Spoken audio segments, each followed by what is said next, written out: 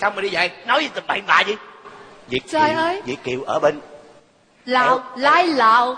À chị cũng giống như gọi là việt kiều hả? Dạ việt Ây kiều da. việt kiều. Rất là vui được gặp anh. À yeah, ok. You uh, you uh, you sit do Ờ. Ôi, cha cha cha không biết. đâu mà du.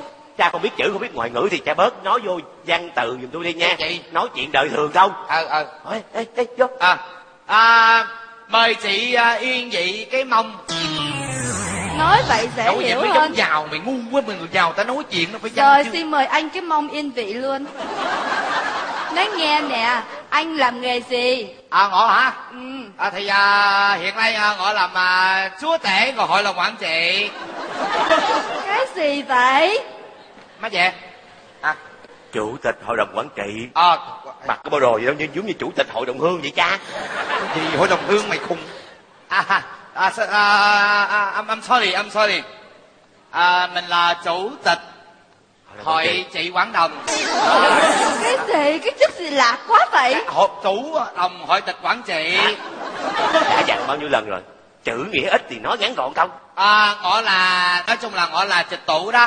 Cái gì? À, ngọ là chủ tịch. Đó nói vậy đi cho dễ hiểu đi mặc đồ đẹp quá ha. Vâng mùa xuân mà. À. ra diên cưới con cho con gái tôi luôn. Đúng giờ bữa nay mình gặp nhau là mình nói chuyện đám cưới đúng không? Rồi. à, bây giờ em em gái lâu rồi con nhỏ lâu rồi. Con gái của tôi á hả? À. trời đất ơi xin lỗi nha nãy giờ em nó ở ở nhà chuẩn bị chuẩn bị để chi để cho em nó xấu bớt.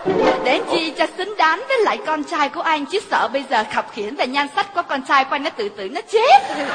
Em nó đẹp quá mà. Ê, đẹp chị- quá đẹp quá phải làm xấu bớt á. Đó À. đúng rồi. Ê, chị là chị nói chuyện là khiêm tốn lắm á. Đúng rồi. Tôi ghét ai chảnh lắm ai chảnh tát cho mặt. Ờ có bao giờ chị tự tác cho mặt chị không? Không bao giờ. Ờ thông minh á. Đúng rồi.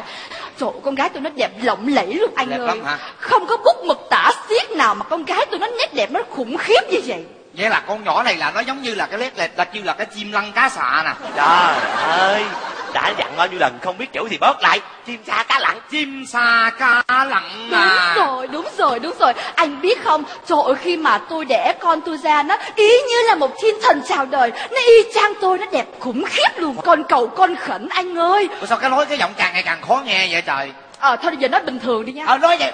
Nói giọng mẹ đẻ cho rồi đi mệt ủa nói được hả? Nói được nhưng mà nói gì cho nó có phong cách Nói thôi. Giọng mẹ đẻ cho khỏe đi. Cho tôi nói giọng bình thường luôn Ờ đi vậy chị đi ha, mất tay đi. Vậy đi cho đầu đi nãy giờ ngựa ngựa nói chiếc Ờ. nhức đầu quá.